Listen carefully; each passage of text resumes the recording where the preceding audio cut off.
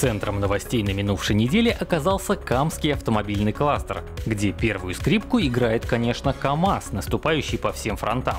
Уточнен график по развитию тяжелых грузовиков серии К5, расширяется семейство среднетоннажников Компас китайского происхождения, впервые в истории основан легковой дивизион, и любопытные процессы наметились в области легких дизельных двигателей для себя и для группы Solers, осваивающей в Елабуге грузовички китайской компании JAG. АвтоВАЗ бросил все силы на перезапуск модернизированной Весты, а Ульяновский автозавод сконцентрировался на банальном выживании. Но легковой отечественный автопром выглядит откровенно кисло на фоне очень убедительных автобусов, о которых мы расскажем под конец выпуска. Головной завод АвтоВАЗа в Тольятти продолжает осваивать сборку модернизированной «Лады Весты», началу декабря первая нитка главного конвейера, которую раньше называли линией B0, выпустила минимум три пробных автомобиля, которые останутся на заводе для тестов и обучения персонала. Сейчас все указывает на то, что возобновление производства Весты, ранее намеченное на март, состоится вовремя, без модных нынче сдвигов сроков вправо.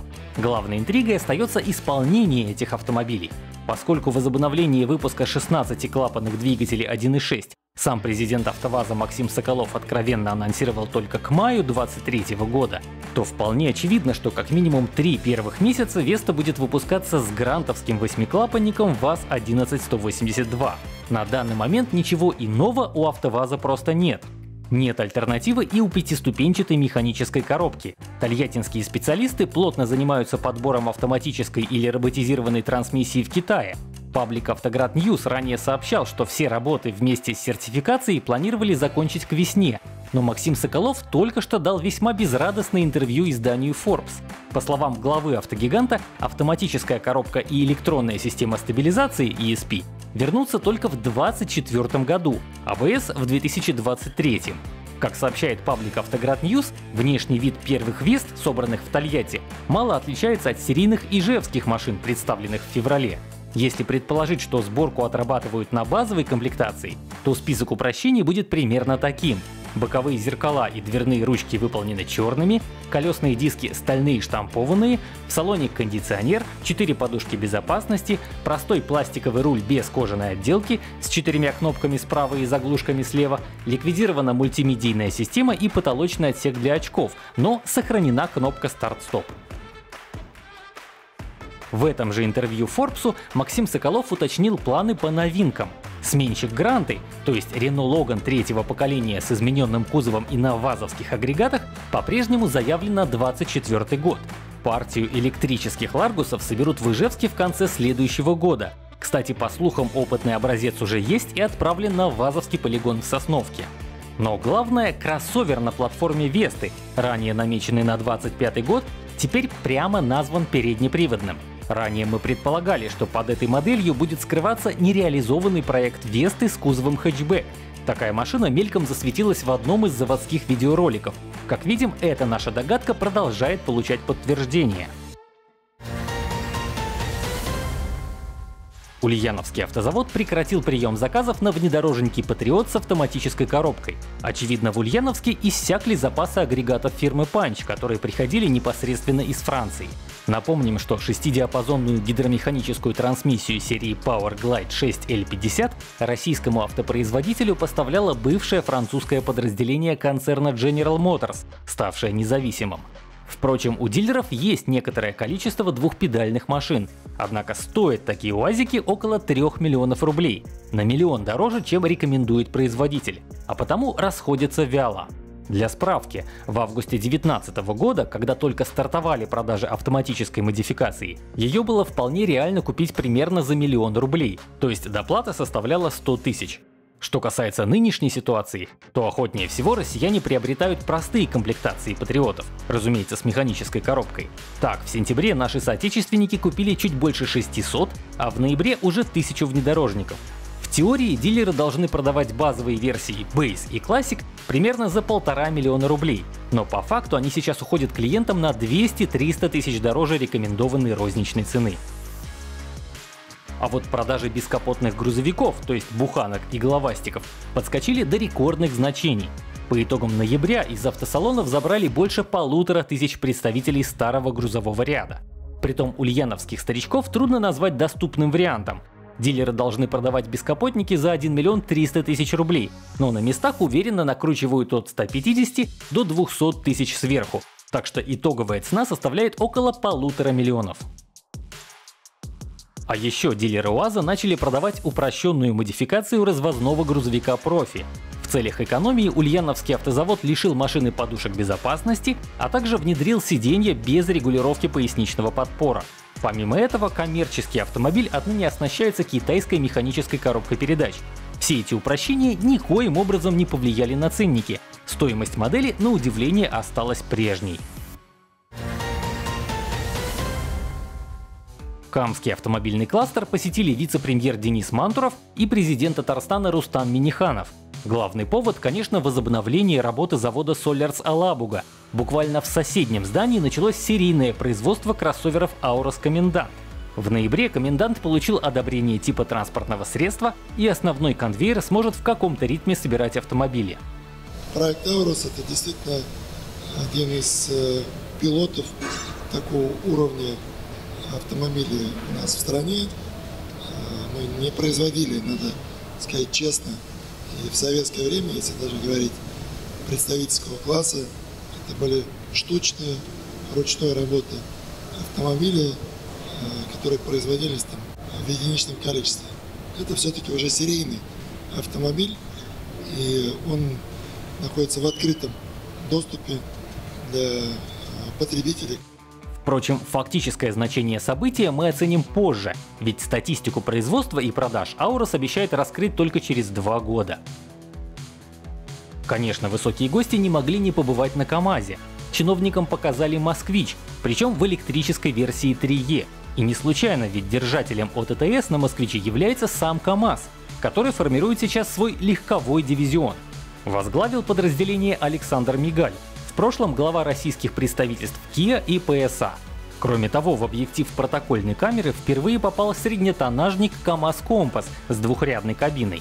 Полной массы будет 3, 5, 9, 12. Здесь выставлено полной массы 5 тонн. И, Денис Валентинович, что важно, что с Солерсом двигатель вот этот вот 2 литра, 2,7 это единый. Голос за кадром — это гендиректор КАМАЗа Сергей Кагогин, который сообщает Денису Мантурову о том, что двигатели компаса, что представляет собой перелицованный китайский джак, родственны моторам малотонажников Solers. Напрашивается вывод, что в локализации этих дизелей на бывшем моторном заводе Форда заинтересованы и Solers, и КАМАЗ. Вот только есть одно важное «но».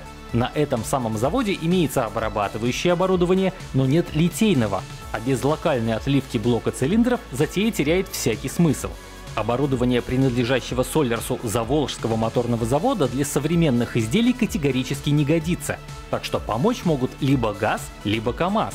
Первый – злейший конкурент Соллерса, и трудно представить, чтобы группа ГАЗ, осваивающая сейчас производство китайского дизеля марки Фотон на замену импортным китайским Камензам, решила содействовать своим прямым соперникам. А вот КАМАЗу, как видим, дизели Джак вполне пригодились бы, но есть ли ресурсы на их освоение – вопрос.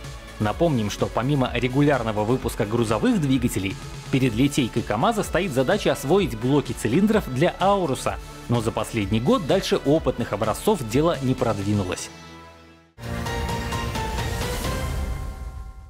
КАМАЗ провел в набережных Челнах двухдневную дилерскую конференцию, на которой гендиректор Сергей Кагогин уточнил судьбу грузовиков свежих поколений К4 и К5, по производству которых больно ударили санкции.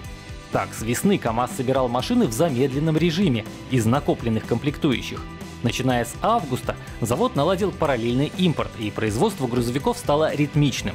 Ежемесячно с конвейера выходит около сотни машин поколения К4 и примерно 150 поколения К5.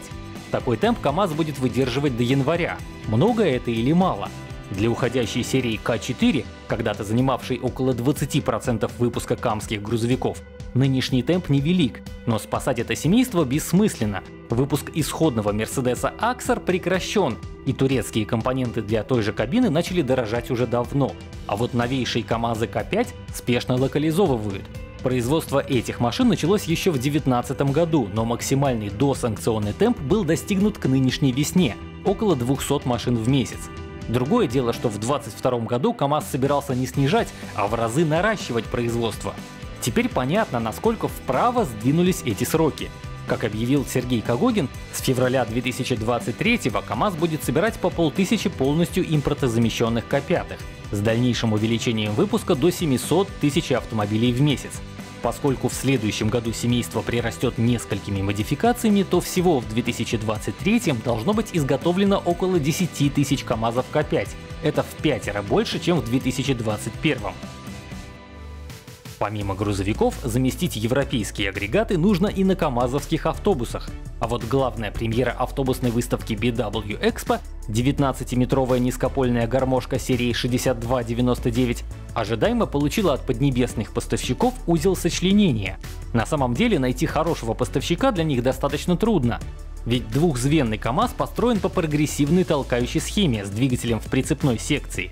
Этот мотор носит индекс 689, а по факту представляет собой национализированный 9-литровый Cummins отдачи 340 сил. С ним состыкована шестиступенчатая автоматическая коробка, происхождение которой неизвестно. Питается рядная шестерка компримированным газом, а учитывая петербургский цвет кузова, нетрудно догадаться, что производитель готов предложить гармошки перевозчикам северной столицы. А еще КАМАЗ и НИФАС показали 12-метровый дизельный полунизкопольник для пригородных рейсов – он должен стать конкурентом Лиазом 5292, который активно используется на подмосковных маршрутах. Соответственно, в салоне 83-местного автобуса установлены не жесткие кресла, а более удобные для дальних поездок мягкие сиденья. Их здесь ровно 40 штук. Двигатель еще один национализированный Cummins. Коробка передач, в отличие от гармошки, названа четко. Это шестиступенчатый автомат китайской марки Fast Gear.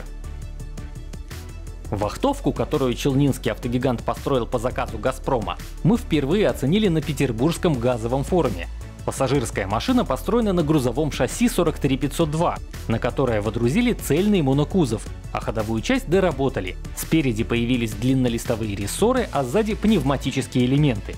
В движение новинку приводит двигатель отдачи 290 сил, с которым состыкован шестидиапазонный автомат Fast Gear. Мотор, кстати, китайский, марки Weichai. Хотя поговаривали, будто поднебесный моторостроитель отказался от поставок агрегатов на подсанкционный КАМАЗ. В любом случае 500 рядных шестерок для газпромовского проекта найти удалось. А напоследок поговорим о пассажирских машинах Минского автозавода. Эффектное третье поколение автобусов МАЗ представил в 2020 году. У 300 серии полностью новый стальной каркас, выполненный по принципу колец шпангоутов, так сейчас строят автобусы именитые марки. Характерная крыша, напоминающая горб зубра и большая часть бортов по последней моде скроены из пластика. От второго поколения пассажирских машин остался только задний портальный мост марки CTF. Из ассортимента этого производителя также подобрали коробку передач и переднюю ось, а двигатель взяли марки Mercedes-Benz.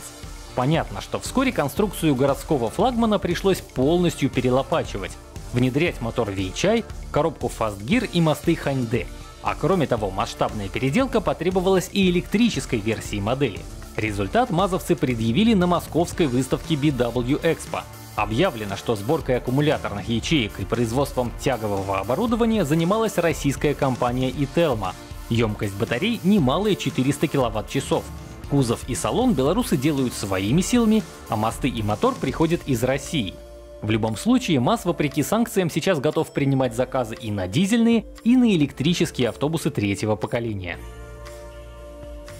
А главной новинкой от белорусской марки оказался троллейбус.